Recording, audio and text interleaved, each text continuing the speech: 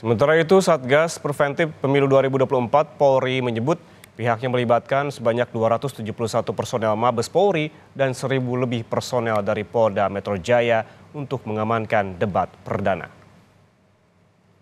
Jumlah personel yang dikerahkan ini terdiri dari Mabes, kemudian juga dari Polda Metro Jaya. Ya, jadi dua dan ini termasuk dari satgas-satgas uh, yang ada di uh, pusat maupun yang ada di wilayah. Kita sama-sama ya. Jumlahnya sekitar uh, kalau dari kita dari Mabes nanti ada uh, 271, kemudian dari Polda Metro Jaya ini sekitar uh, seribuan demikian.